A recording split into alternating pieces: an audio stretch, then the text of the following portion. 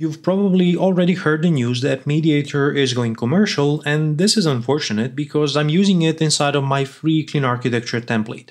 So in this video, I want to show you how you can refactor away from MediatR and build something yourself that achieves the same functionality. Here's a typical use case for registering a new user inside of my system, and behind the scenes, this is using MediatR. Now, the reason I have an I command handler interface is because I want to be explicit about the CQRS pattern, which I'm applying here, and CQRS is short for Command Query Responsibility Segregation. Here's a very quick overview of how MediatR allows us to implement CQRS. So let's say we have our API and we have some requests reaching our API endpoints. Now, broadly speaking, we can split these requests into commands. These are use cases or operations that modify something within the system.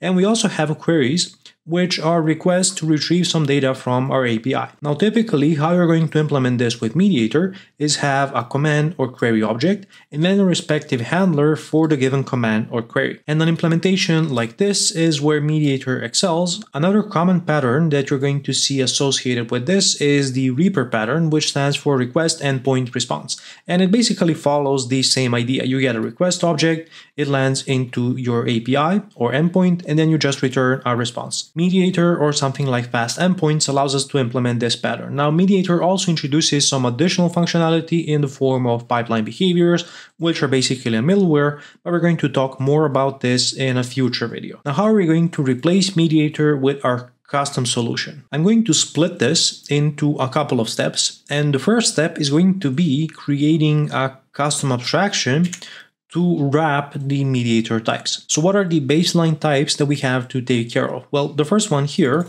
is the I request handler, and there is also the I request interface. So we have a request object and then a respective request handler. Now, what I already did inside of my template is make my commands and queries explicit by defining the respective interfaces in the messaging folder.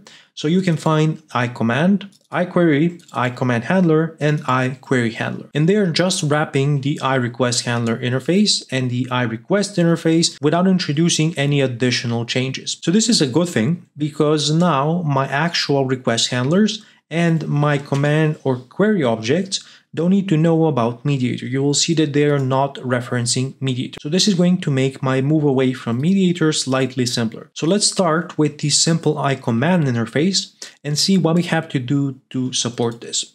Now this is an I request, which is a way for me to define how I want to return my response. And in this case, I'm making sure that I always return a result. I also have a respective command handler which is a request handler, wrapping my request type, which is my command, and then a result object, which I'm always returning. Now, if we take a look into the iRequest handler interface definition, you're going to see that it just implements one method called handle.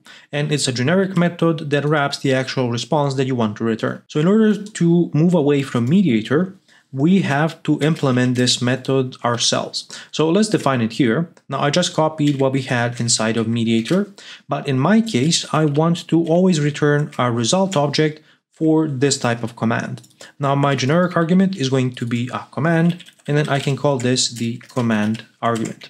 Now I also have to remove the iRequest handler reference, otherwise I would have two definitions of the same handle method. And now if I go to my iCommand interface, I can safely remove the iRequest result reference. So with just these few changes in place, let's take a look at some implementations of this command. So we have the complete to do command and the delete to do command. And if I go inside, you can see that both of them are still doing fine, they can compile. And if we take a look at the respective command handler, let's say delete to do command handler, you will see that everything here still compiles. And this is because we are using the same interface as we did before. We have a command object as the first argument to the handle method and it always returns our result. So far so good, but the problem is this currently will not work.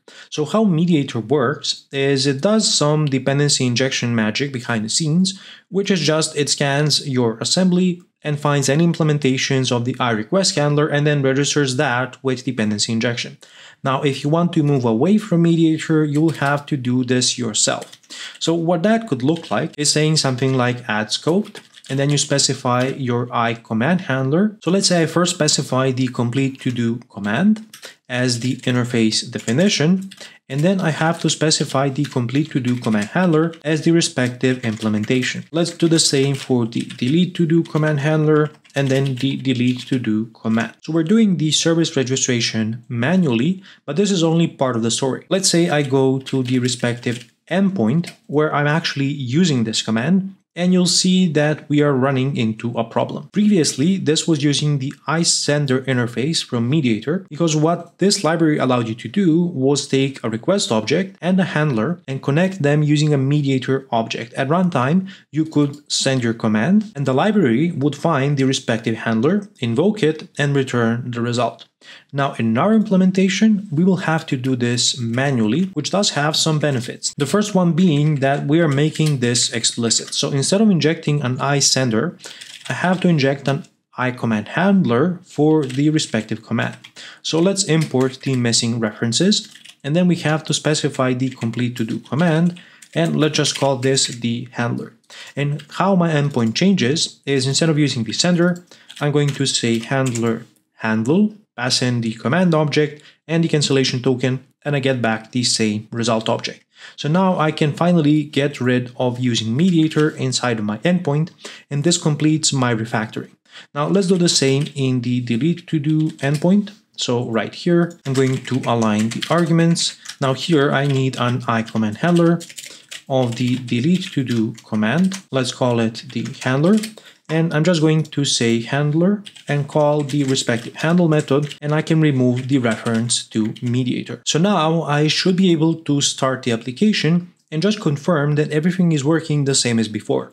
So I'm going to place a breakpoint in the delete endpoint, for example. And if I go into the Swagger UI and fetch all the to-dos for the current user, and let's say we take this to-do item that I want to delete. So I'm going to copy the identifier head over to the delete endpoint and then let's send this and you can see that I hit the breakpoint inside of my endpoint. So we didn't get an exception at runtime and our handler instance is provided from dependency injection automatically. And you can see that the actual instance itself is the delete to do command handler. So our manual registration with DI is working as expected. We go into the respective handler where we are going to proceed to fetch the item and delete it. So I can stop the execution now because I'm not really interested in the result. And then let's discuss what our next steps are going to be. So far, we only migrated our simple I command definition which only returns a result object. But we also have a generic variant, which can return a concrete result,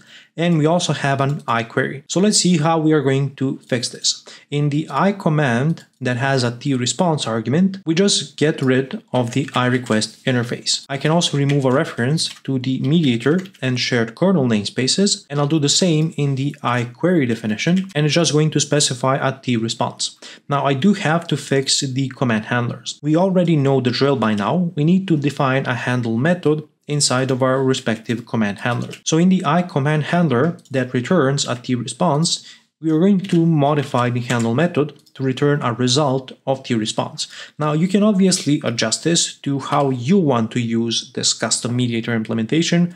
I prefer always returning a result object, but if you don't want to do that, then you can just omit this and return the response, which is basically how MediatR works. Now I don't want to break too much of my application functionality, so I'm going to use this version. And now I can get rid of the MediatR reference. Now in the iQuery handler, I need to do the same. So let's define a body and I'm going to paste in the handle method that I have here. I have to specify the query here and let's call this the query. And of course, I need to get rid of the I request handler.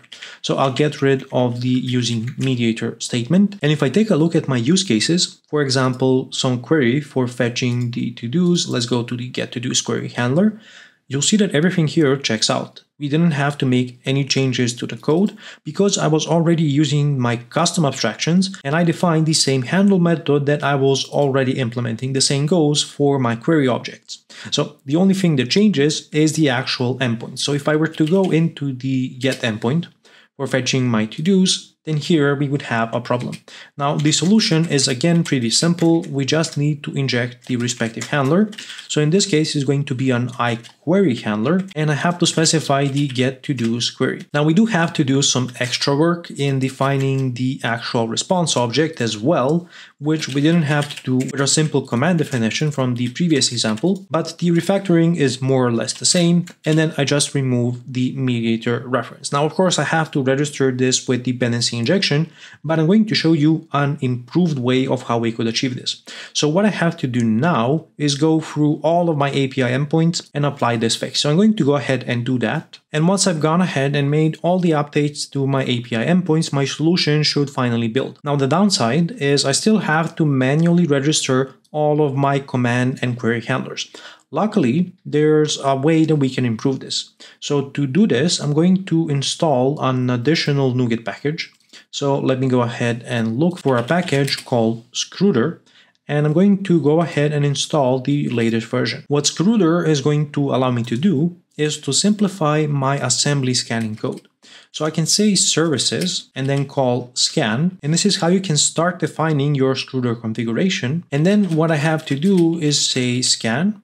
And for example, from assemblies off, and then specify the assembly that I want to scan for my implementations. So once I have this, I can start adding my classes. And let's say we want to find any classes that are assignable to our iQuery handler definition. Now, as this has two generic arguments, you have to specify a comma here. And then I also want to pass in another argument to also look for internal types. Once I complete the call to add classes, I'll have access to all of these types that match my filter, and then I can register them as implemented interfaces. And this is going to basically be my query handlers, and I can also specify the lifetime. I'm going to do that at the end, and I'm actually going to go ahead and copy this command that I just entered, and let's drop it in twice.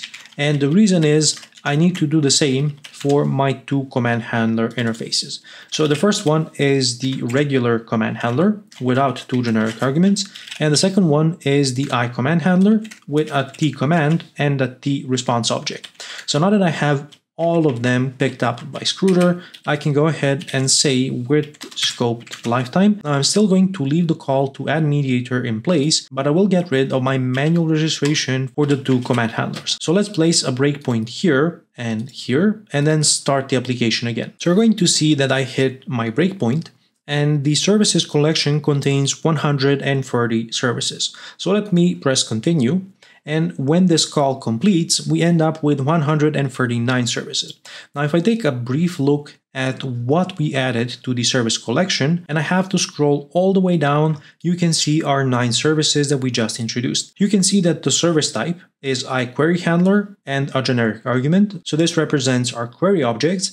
And then we have some iCommand handlers and the respective command objects. So we pretty much did what MediatR does here with a couple of lines of code and Scrutor. And we can additionally hide this behind an extension method to simplify our setup even more. So now we've completely moved away our request handlers or to be more precise, the query handlers and the command handlers do not use MediatR. Now to show you that everything still works, I'm going to just test this out quickly. So let's send a request to fetch the to-dos for the current user and you can see that we hit our breakpoint and we're going to execute the respective handler and return the response. So let's send a request to delete a to-do item and we land on the respective breakpoint. Now as this is already deleted, the database is going to return null and we're going to return a failure result from our handler. So you can see that both the query and the command flow work as expected. Now we still have a problem and that problem is cross-cutting concerns which MediatR solves with pipeline behaviors. We were using them to implement request logging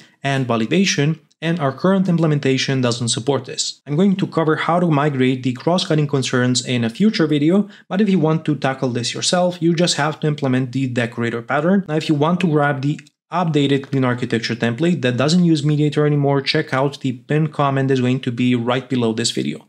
Also, take a look at my courses if you want to improve your software architecture skills, and until next time, stay awesome.